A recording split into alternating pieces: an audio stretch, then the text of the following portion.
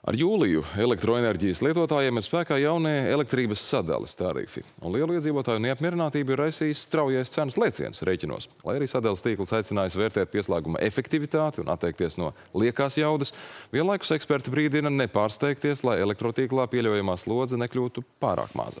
Līdz šim jaudas samazināšana bija bez maksas, taču pieslēguma maiņa atpakaļ jau maksas pakalpojums aptuveni 80 eiro. Pirms nedēļas sadales tīkls solīja vērtēt iespēju nākt pretī iedzīvotājiem un mazināt vai arī pavisam atcelt maksu par šo pakalpojumu un izdarīt to nedēļas laikā. Par rezultātu šorīt mēs vaicāsim sadales tīkla pārstāvē Guntai Līnai. Labrīt! Labrīt!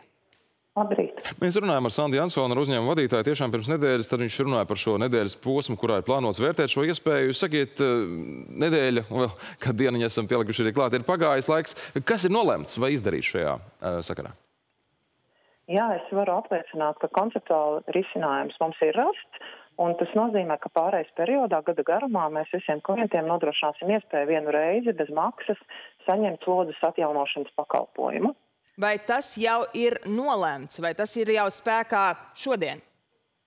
Mēs esam par to informējuši Sabiedrisko pakalpojumu regulēšanas ko komisiju, un šobrīd mēs strādājam pie šī risinājuma ieviešanas, varbūt vēl atsevišķu saistīto nianšu precizēšanas, bet konceptuāli es apstiprinu, jā, ka visiem klientiem nodrošināsim iespēju vienu reizi gadu garumā bez maksas šo pakalpojumu saņemt.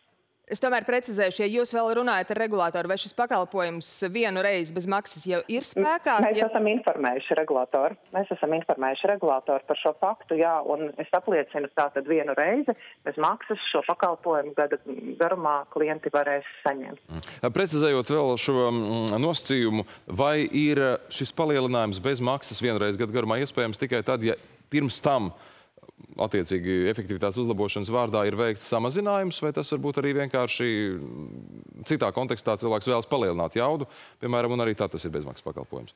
Tas attiec, tas attiec uz klientiem, kur ir veik, veikuši šo slodzes samazināšanas pakalpojumu, un uh, es, uh, kā, jau, kā jau arī uh, iepriekš uh, minēts, uh, nu šis ir lielā mērā saistīts ar to, ka uh, šis jaunais uh, tarifs uh, tiešām mudina cilvēks vairāk izvērtēt savu pieslēgumu jaudu un līdz ar to, lai arī šo procesu padarītu vienkāršāku un, un reaģētu arī uz sabiedrības bažām, jā, par iespējamu kļūdīšanos, tad mēs šo risinājumu šobrīd esam piedāvājuši pārējais periodā.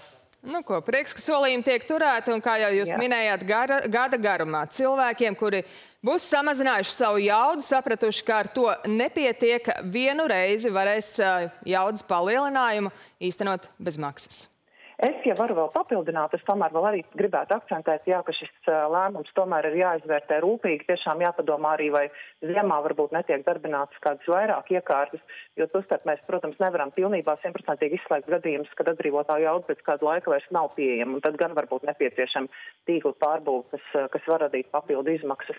Uh, bet uh, pamata risinājums, kā es minēju, ir uh, klientiem skaidrs un, un droši iedrošinām izvērtēt sev nepieciešamo pieslēgumu.